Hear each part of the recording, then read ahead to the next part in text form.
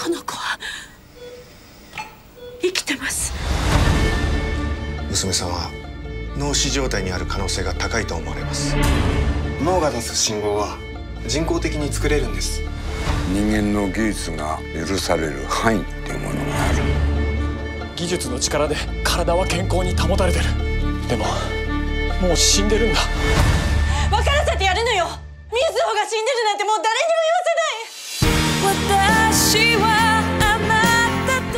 女たちに必要なのは私です。あやかしに過ぎなかったんだ。あなたと同じ母親なんだから願いは同じよ。奇跡を信じた。最後の決断。人は二度は死なない。人魚の眠る家